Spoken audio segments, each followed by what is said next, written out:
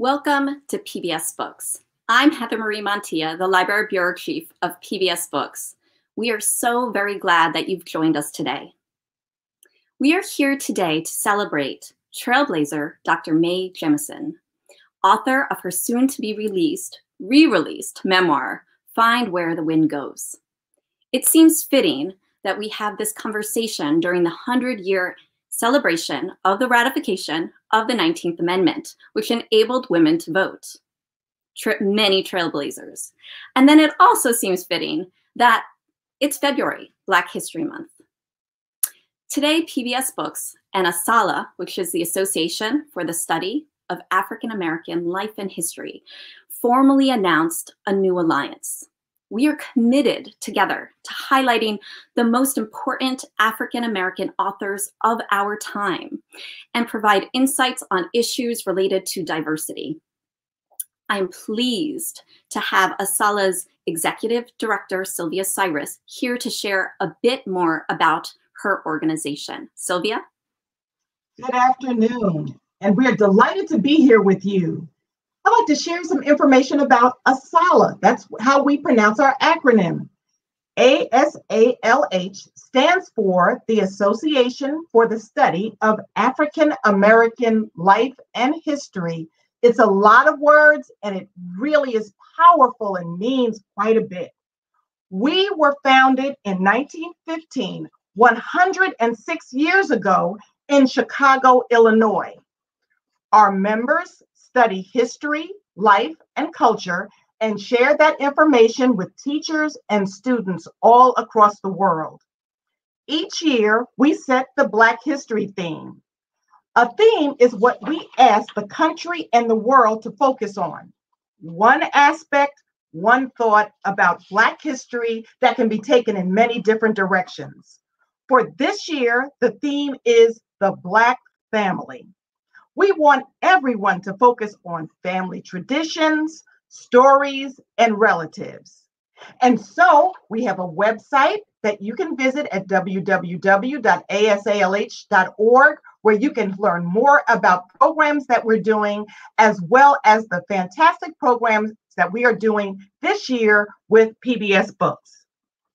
We study and celebrate history, History is the study of past events and how they impact our lives today.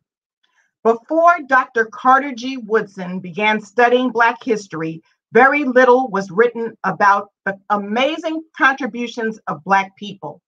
Dr. Woodson was the founder of the Association for the Study of Negro Life and History, our organization, when it was founded in 1915. He realized that if the world did not know about how important Black people were, that they could be eliminated and no one would know that they were here and no one would even care. He knew that Black lives mattered. People like Dr. George Washington Carver, who was born at the end of slavery and was an inventor and a scientist at Tuskegee Institute, which is an historically Black college and university, who, among his hundreds of amazing inventions, did uh, created 300 products from peanuts. And I bet you can guess the one that you know the best, which is peanut butter. There were other individuals who uh, were business people, like Madam C.J. Walker, who in the early 1900s created a manufacturing company for hair care products and became one of the first African American female millionaires or any Black millionaire at all. Similar to the contributions of Jay Z and Beyonce. They have great musical companies and they also contribute to our life and history. And then there are politicians and people who help us as civil servants, like Robert Smalls, who was a former slave and a congressman in South Carolina. And then there's Vice President Kamala Harris. So we encourage you to study more about our history and join us in more programming with PBS Books as we enjoy today's wonderful, wonderful talk with Mae Jemison. Thank you. Sylvia, we are truly honored to partner with ASALH to celebrate African Americans' life and history throughout the year. So thank you. As many of you know, PBS Books works with libraries across the country. And the work that we do is basically we work with libraries, many school libraries, many public libraries, and we partner with them to provide these programs. So we thank all libraries across the country who are participating and sharing. Thank you for being here. Thank you for creating dialogue in your communities. Um, now it is my extraordinary pleasure to introduce Dr. Mae Jemison. Dr. Mae is a physician, an, an engineer, an educator, a social scientist, an entrepreneur, and a former NASA astronaut. She was the first woman of color in the world to go into space in 1992. Dr. Mae leads the 100 Year Starship Global Initiatives. She's founded two technology companies and a nonprofit called Dorothy Jemison Foundation for Excellence. She was the first real astronaut to appear on the Star Trek TV series. And she even has a Lego minifigure. She grew up in Chicago, attended Stanford University, and did her medical degree at Cornell University. It is my extraordinary honor as someone who has studied the sciences throughout my whole life and as a woman to introduce Dr. Mae Jemison. Thank you so much for being here today. We're so very, very thrilled to have you and to be able to discuss your, your soon to be re-released book, Find Where the Wind Goes. Thank you. Oh, you're very welcome. And I'm really pleased to be here with you today and to be such a, be a part of such a great partnership that uh, you all have that PBS has created with AMSA. I'm thrilled.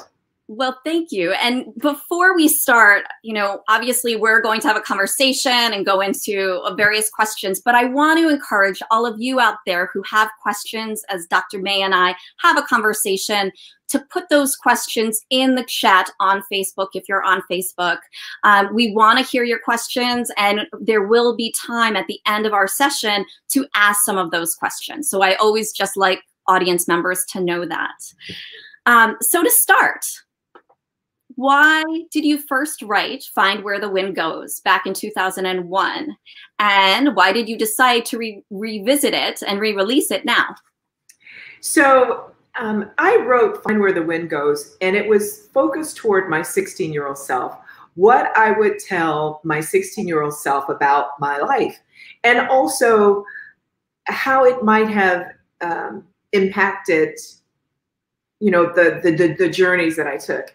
One of the things that that uh, really motivated me to do this was that friends of mine would see narratives about me where people made stuff up. And it was always, of course, that she was this child that always did what her parents told her to do. And she studied well and she uh, was not rebellious at all. And they would look at it and say, this, we don't know who this person is. and so I thought it was really important for me to tell the stories about how I, you know, just some tidbits of stories about how I came to be.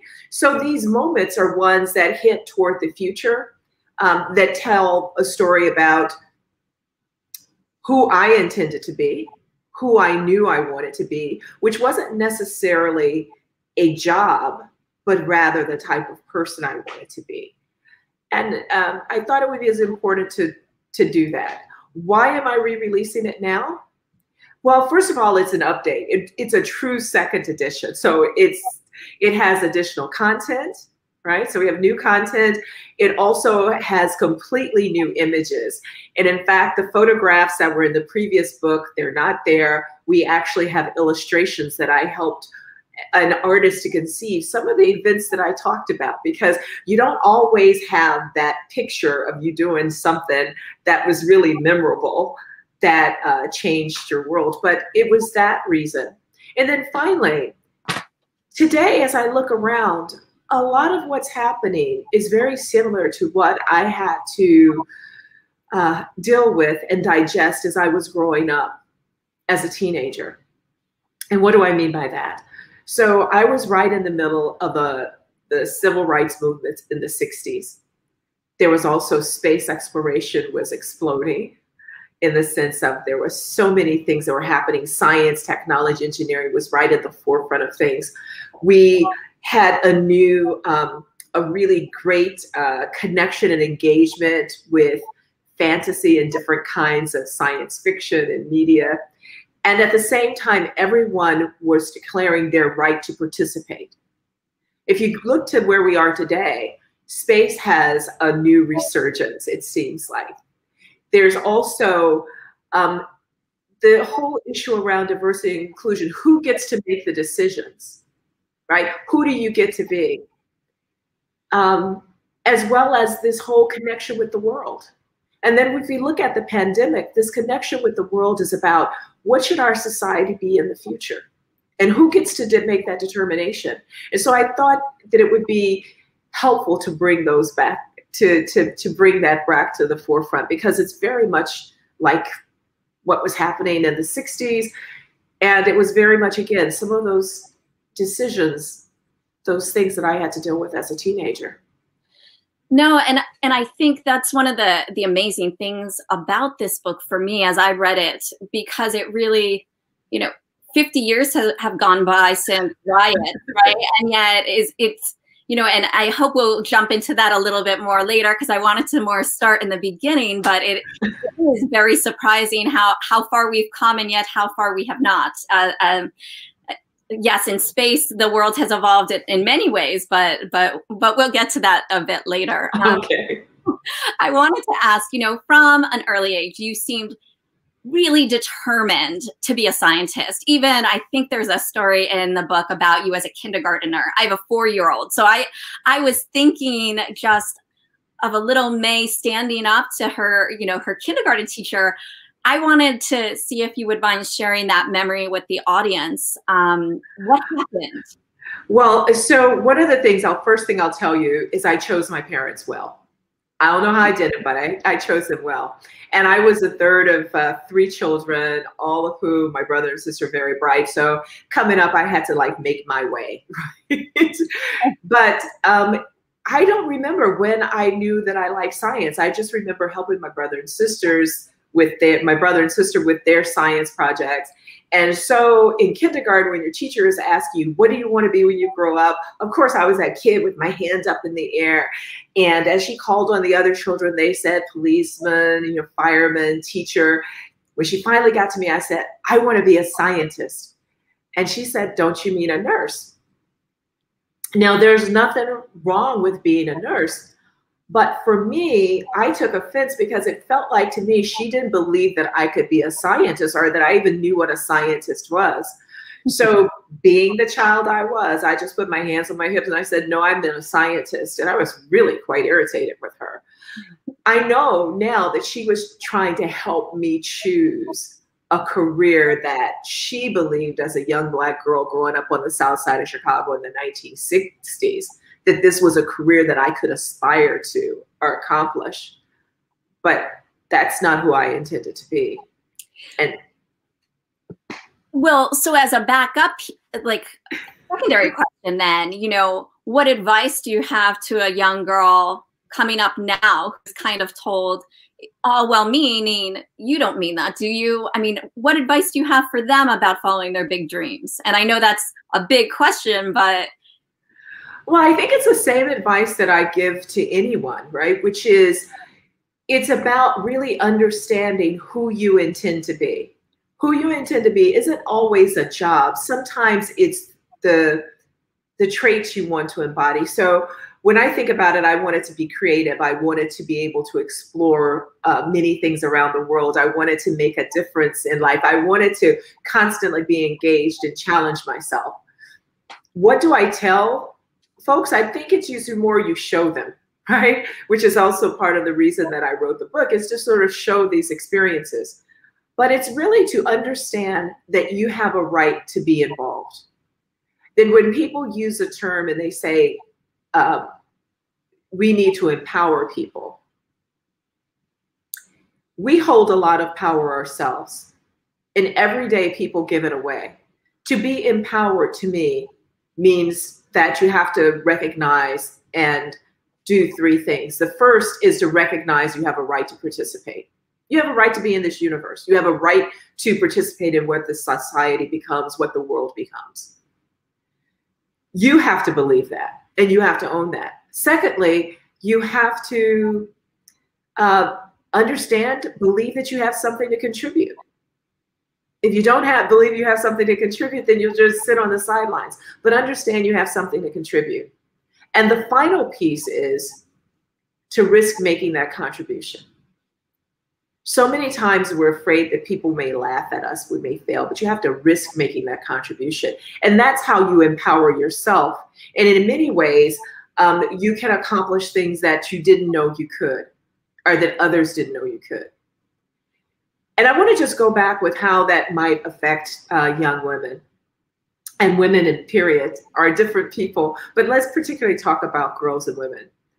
So many times in classrooms, girls are asked yes, no questions, and girls get the answers right, but they're not asked to elaborate on their answers. Boys are asked to elaborate. So as as girls, we grow up many times um, having to have the right answer but not asking to pontificate or explore more.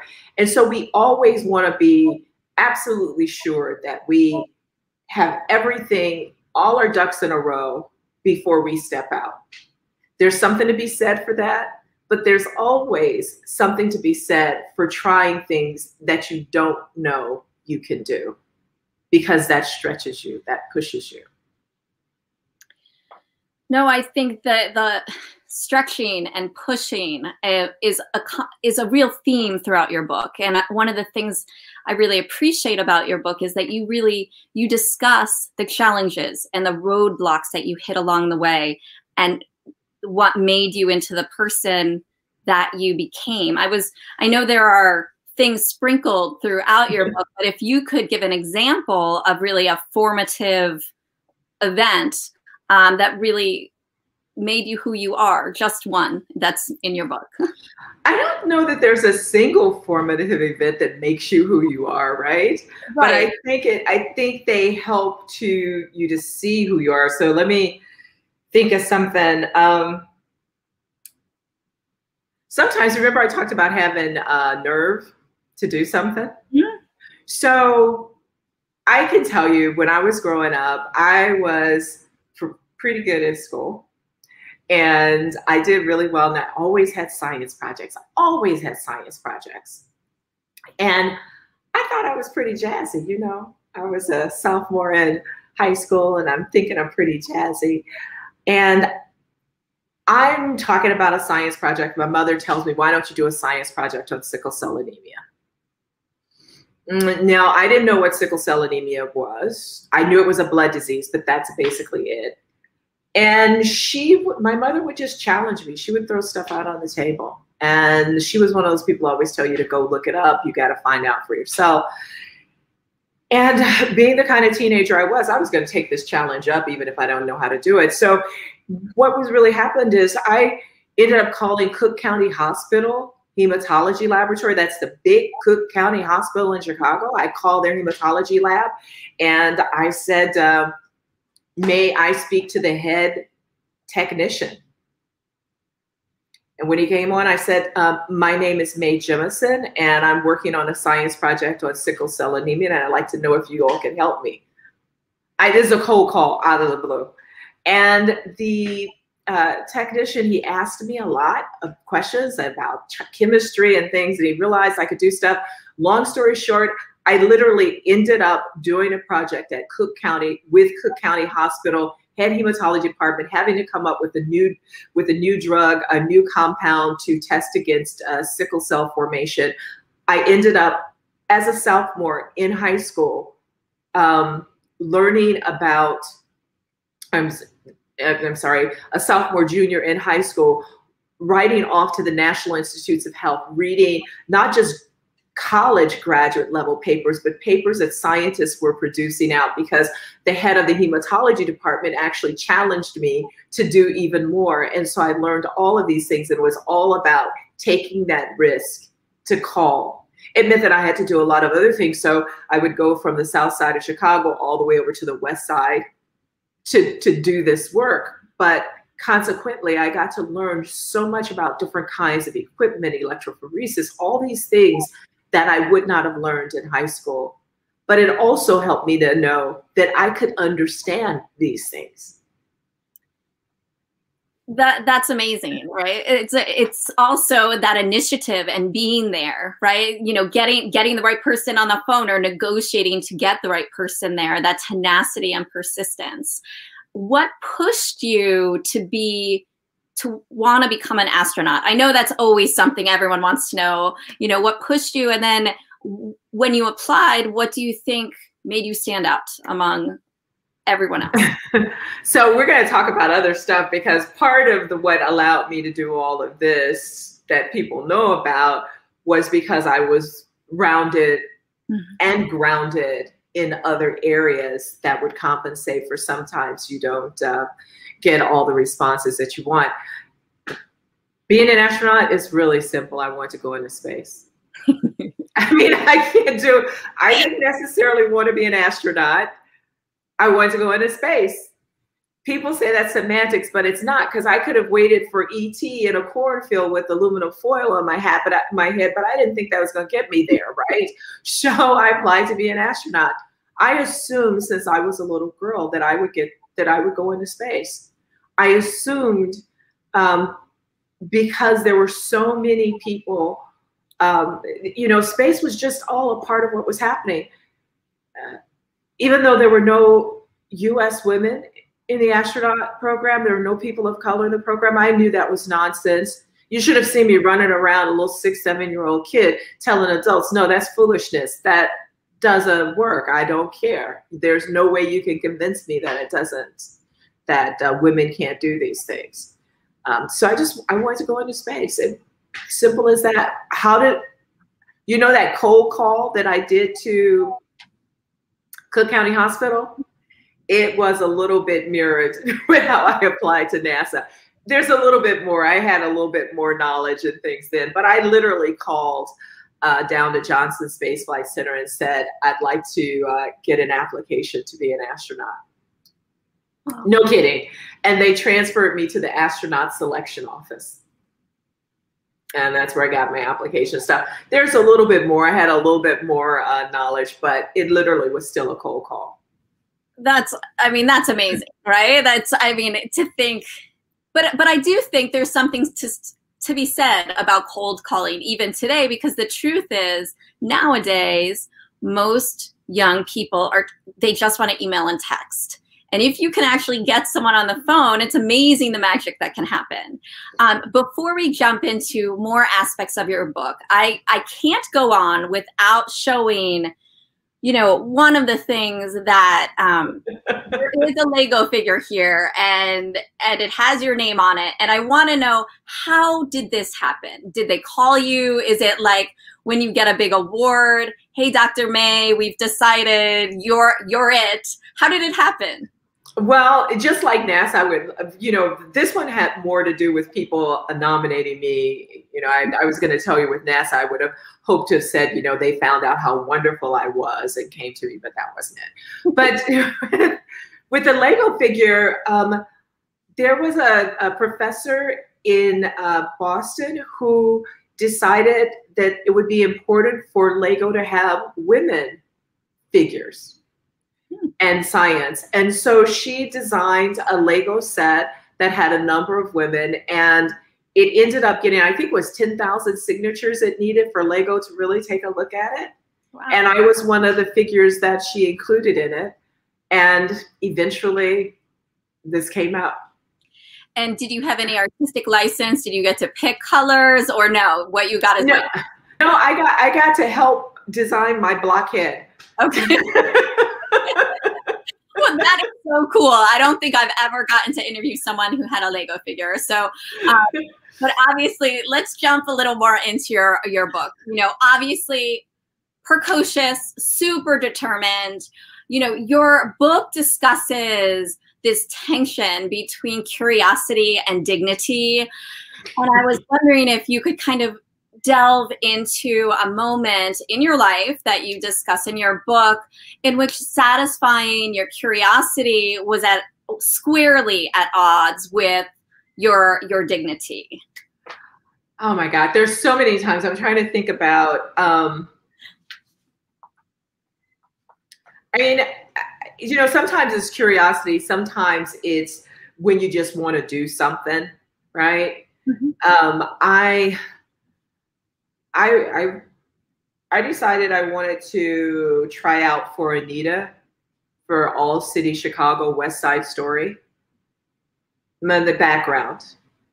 I wanted to dance when I was a little girl, and I bullied, whined, got my mother into signing me up for dance classes, and I was really good. I was a great dancer. I was very athletic, um, really good dancer, pretty good actress as well, and I did a lot of performing arts and things like that. But I couldn't sing a lick. I mean, I could, I cannot sing. I had a hard time holding a tune, but I love the movie West Side Story. I love the character Anita, and so I decided that I was going to try out for the West Side Story. All city. This is not my high school. These are all the high school students in the city of Chicago. I'm going to try out for Anita. And let's just say that I managed to get included in a callback of about six to 10 girls because they thought I was really, really good. And I had practiced the songs that Anita sang and everything uh, until they changed the song. Let's just leave it at that. They changed the song. but it was sort of so it's like your dignity is like, hey, you know, all I could do is try out. And hey, I got caught, you know, but I was there. I was there. And I got to be in West Side Story anyway, but uh, there are a lot of different pieces. But that whole, you know, sort of satisfying your curiosity or trying for something that you want to do is there. And sometimes, you know, you it, it does not work out, you know, and you have to be able to have a sense of humor about things as well. But I got to learn, I got to find out. So there's that's fine. Yeah, I think the sense of humor is so important growing up, right? To have be able to laugh at yourself and laugh at when you succeed and laugh when you fail. Um, and it's hard to fail, um, but but if you don't get back up again, right? I mean, I think your your story also and your your book it it also talks a lot about the theme of tolerance and acceptance. Um, and I and I wanted to kind of explore that a little bit more too, and how those values of, of tolerance and acceptance shaped who you are um, because you you discuss it in different places. And i think those are also two critical right now for our country but for young people overall are two important themes for them to understand. So how do you think to- tolerance and acceptance um, shaped who you are? And i will use the term let's use the term tolerance and just recognition that everybody is not the same and recognizing that we will all make mistakes in life, but we do have an opportunity to improve. Um, when I was growing up, I grew up on the south side of Chicago. Um, initially, I was in an area called Woodlawn, and it was uh, at that time is a very difficult neighborhood, um, and it was uh, you know primarily African American. Um, when I was uh, 11 or 11 years old, I ended up going, we moved to Morgan Park, and I ended up going to an integrated uh, school. Now, during that time, also with that move, I um, I skipped seventh grade. My seventh grade teacher in where I was at at Wadsworth, I was there for like two weeks, and she said, "You don't belong in seventh grade. You have to go into eighth grade." So she put me in eighth grade as we were moving out to Morgan Park, and and and so that changed me in the sense that I was now much younger than any of the other students, but I was tall, so it didn't really matter. The other part of that is uh, from when I was a little girl, um, let's see, nine years old, eight, nine years old, my mother had cut all of our hair short in an afro, short, tiny afro, um, because Miriam Makeba who was a, South African incredible singer. She was recognized United States. She wore her hair very short. My mother said, "Bet that's what we're going to do." So this was recognition of who you were. Back then, when that happened, most women, black women in the United States, would not have worn their hair that way. So all while I was growing up, people used to call me a boy, and that was okay because my mother said, "They're, you know, that's their problem. That's not an issue." But the reason why I bring that up, because that tolerance, I don't know if it's tolerance, but understanding that people are different. And then um, afros became the thing that everybody, you know, started wearing. But in my high school, I had lots of different friends. I had friends from, um, you know, from, you know, this platinum blonde, short um, gymnast, uh, science geek with me, my friend Kathy Sharp another friend, Sheila Wong, as well as my friend Linda Linda Bundridge, who was, um, you know, she, she, was an African American uh, girl my same age. She had a completely different mo than I did, but we were best friends. So it was it was this whole thing about recognizing that you have lots in common with different people and being able to allow that to happen. No, I, I think that that those are wonderful comments. I and I know our, our audience is is interested in in asking their their questions too. So I'm going to ask a few more questions and then we'll transition into audience questions. So if you're out there and want want your question answered, please put it in the chat and we will be asking those questions shortly. Um, in terms of you highlighted in your book that you like to read and um, going to libraries. Uh, you know, is there a favorite library that you remember or a favorite book? And um, how do you think that that impacted your journey, having books and libraries as part of your life? Oh my God, there are so many books that I like. It's like there, there's no single favorite book, right? Um, the libraries. I remember when I was a little when I was, we were living in Woodlawn. I don't remember the name of the library, but we would always go there. Me, my brother, my sister, and I. We'd always go to the library. We'd take books out, and I was rather precocious in terms of reading. It didn't mean I always understood all the nuances, but I could read all the words in the books.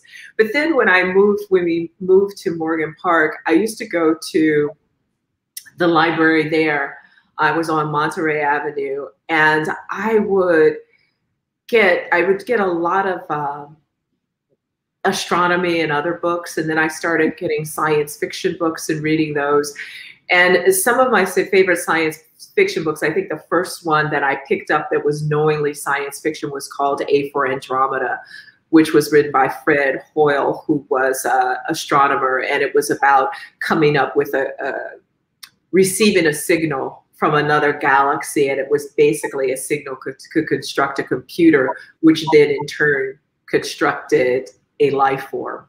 But before then, I had read A Wrinkle in Time by Madeleine L'Engle, but that was just one of them. So she wrote another one called The um, Arm of the Starfish and The Moon by Night. These, each one of them had heroines in them who were very much involved in science, who, who were very enabled. They were not shy. They weren't uh, uh, awkward or anything like that. No more awkward than any teenager is awkward, but they, you know, I love those books. And then I read, I in high school, I read all kinds of books. Um, that were about civil rights movement. My mother would constantly hand me books like the the Dahomean by Frank Yerby, which was about a Dahomean prince. And we would get all kinds of books. So it was that wealth of both fiction and nonfiction, a lot of nonfiction that made a difference and helped me see the world in different ways. It was really critically important to me. These days, um, even in medical school, I started reading Octavia Butler, who did an incredible science fiction. The first book I read by her was, um, uh, well, Kindred and others. So she just, there was just uh, these in, incredible people who help you to sort of see the world in different ways. Dr. Mae, you have broken through so many glass ceilings which success and i know this is hard because you you've had so much success but which success are you most proud of so I have no single thing I'm most proud of. And the, anything that I would tell you that like I'm like eh, eh, eh, about is not what you think it is. Uh, for me, it was literally being able to run several miles without stopping uphill, right? Because I didn't have incredible stamina growing up and I pushed myself to it. That's something that's very personal, right? It's those things that happen when nobody cares to me that are sometimes the most important where it was just my own self-determination I had to get through. And I know that applies to everything else you do, but that those kinds of things are particularly fun. Or um, I write about in the book, you know, about uh, being afraid of uh, heights, right? and I know it's kind of silly, but being able to get over that fear and it didn't happen until actually I was in the astronaut program.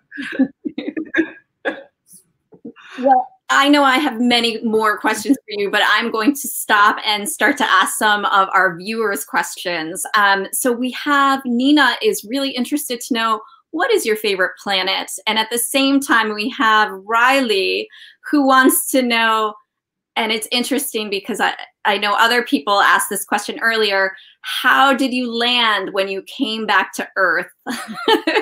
um, and I don't. Those are two two quick questions, and I, I, don't I don't understand the favorite planet question. I get asked that all the time, and I have to make something up every time. I never remember. When I was a little kid, I was fascinated by Venus because it was called. It seemed like it was a twin of the Earth right, in terms of size and being almost in a habitable zone, but it wasn't. Um, so I was always fascinated by Venus. Um, the shuttle lands like a the shuttle, the space shuttle landed like an airplane, unlike the vehicles, um, the the the rockets now, where people come back in a capsule and it lands on a capsule with a parachute on the ground. The the shuttle landed like a an airplane in a runway, which was an incredible the shuttle was an incredible advancement in space exploration. Even though now we're going back to the heavy lift vehicles that are a rocket that look very similar to the Apollo kind of vehicles, the fact that you had something that could launch and then come back down as and land as an airplane had a very gentle profile, which meant you could take up some incredible equipment like the Hubble Space Telescope and other things. No, that's that's more i did not know that. Um, uh, another um, kenzie asks what is what is a good astronomy book to read? Uh, kenzie is age eight. So i this is not find where the wind goes but 100 year starship we did four books that were around space exploration the first one was called they're from by scholastic they're called true books the first one is called 100 Year Starship. Then there's one called Exploring um, Exploring Our Solar System, I believe. Uh, one is about our sun, and then the other one is about finding new planets, which is really about finding exoplanets, like planets away from our solar system and how that happens. But the exploring our solar system is about all the kinds of probes that went um, that. Uh, found out information about different planets. The other is about our sun and how our solar system was formed. And inside of each one, we also talk a lot about the universe as well. Do you have any books that, or are there plans actually to turn Find Where the Wind Goes into a, a picture book? Are there any plans to take your book and, and or or is there a picture book you recommend that's about you and your journey? No, we're actually going to do that. I was I was supposed to do that a long time ago, and then you get distracted with interstellar flight and other stuff. So no, I don't know how you find time. But no, we we definitely want to because there's stories that I need to tell, like about making mud pies. If you ask me what my first science adventure was, was making mud pies. Oh, wow right? And how important that is. But I do want to tell those stories because you can't tell them all in one book. And there are these little pieces of things that I think are fun, or even about friends of mine who were actually quite remarkable. Um, but yes, we're actually uh, getting ready to do a picture book, and I have uh, some of the people who work with me uh, have been pushing me all along. And so, yes, we've, we've taken our first foray into illustration, so we're there. So we'll see you next year then. No. if not before, if not before. um, someone else was wondering um, if you could talk about the camps you've started. So I started, the first thing I did when I left NASA was to start a program called uh, the International Science Camp, The Earth We Share. And it was about promoting science literacy. Uh, science literacy, um, because every day we have to think ourselves, think our way through the day. And science literacy to me is so important because so many of the critical decisions that we have to make in the world today really revolve around science literacy that everyday citizens uh, have to participate in. Notice science literacy is not about uh, solving, you know, equations like E equals MC squared. It's really about being able to figure out what to do in terms of medications. I mean, just think about the pandemic that we're in right now. How do you understand the information about the effectiveness of the vaccines? We should be able to do that. It's not that you have to be at the same level of epidemiologist, but also the reason why I did the, the Earth We Share, we worked with 12 to 16 year olds because that's the age where kids start to fall out of science. And what we decided to do was to make sure that we related science to their everyday lives and that it was experiential. Experiential means that you get to do something, and that's the best way to learn. So we would actually uh, challenge students, 12 to 16 year olds, to work in groups to solve global dilemmas like predict the hot public stocks of the year 2030, design the world's perfect house, how many people can the earth hold? And they worked in teams with children uh, from around the world. We had students from Sierra Leone, from uh, from uh, Nigeria, from Portugal, from Spain, from Sweden, from Derby, Kansas, Los Angeles, Chicago, and they would work in teams to solve these problems. We particularly were interested in also training teachers in experiential education because if we can help teachers feel comfortable being guides in science, then they're going to impact many more students than we ever could. So we've done the camps all over um, multiple times, four week residential camps. We did a series of camps in Los Angeles uh, with LA Unified School District that were non residential, where we trained teachers and middle school students there. We've even done camps uh, one day camps in different places like Tunisia, where uh, it was done in French.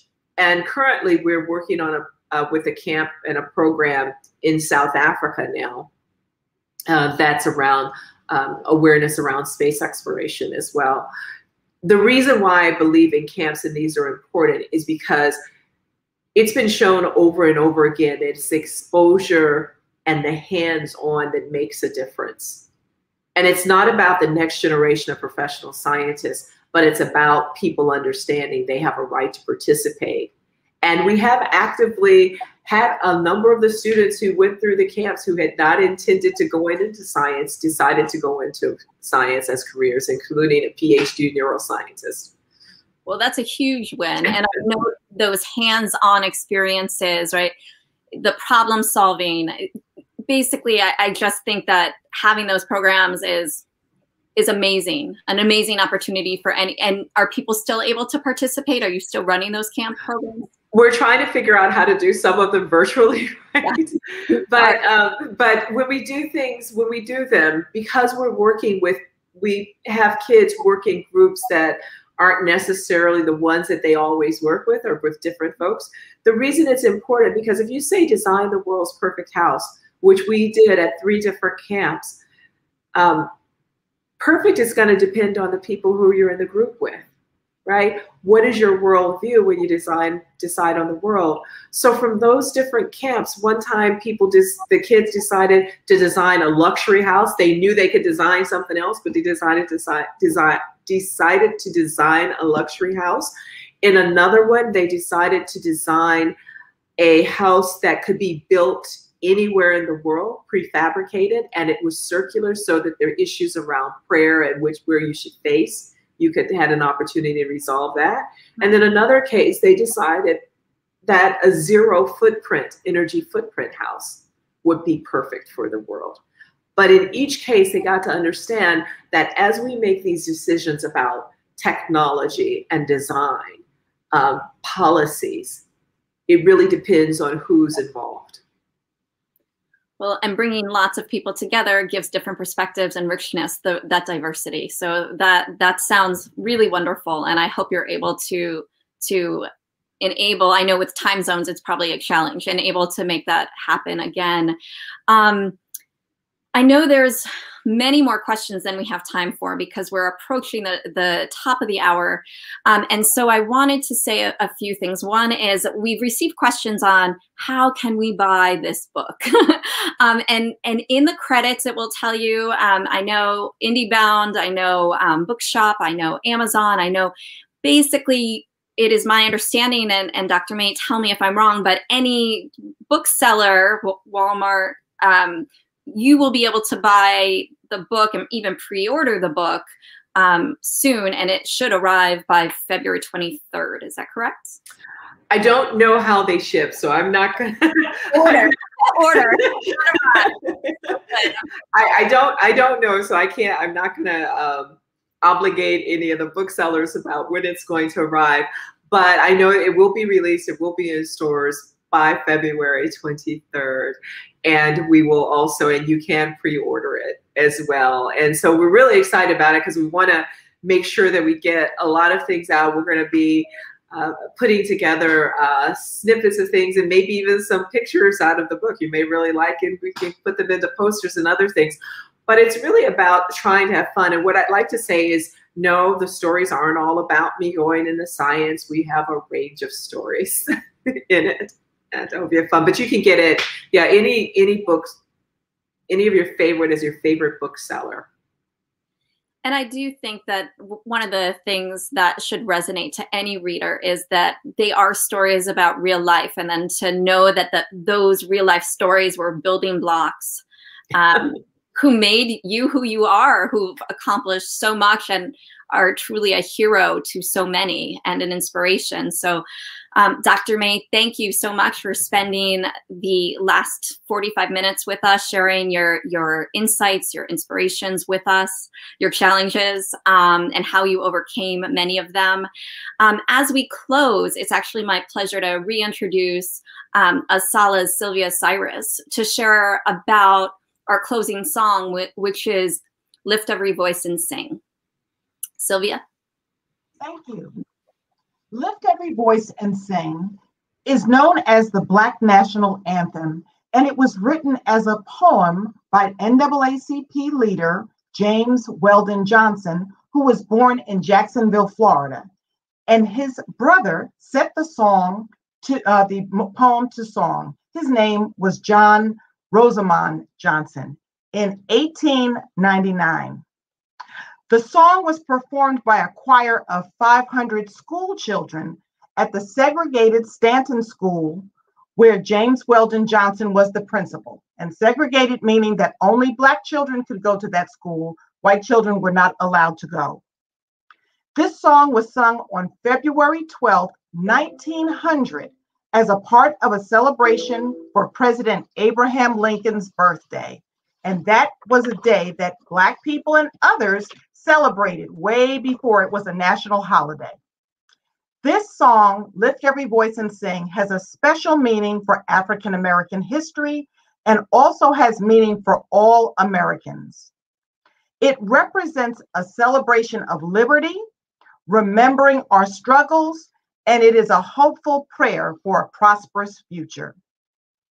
The Association for the Study of African American Life and History has a branch or chapter in, J- in Jacksonville, Florida, and it is named the James Weldon Johnson Branch. Without further ado, you will hear the singing of that song by one of the choirs from the historically Black colleges and universities. Enjoy.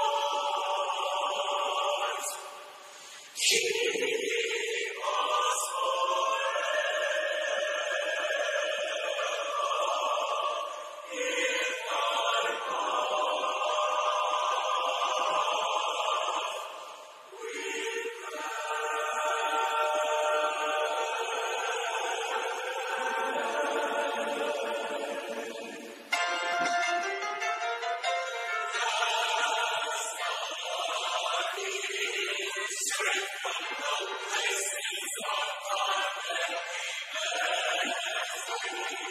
you.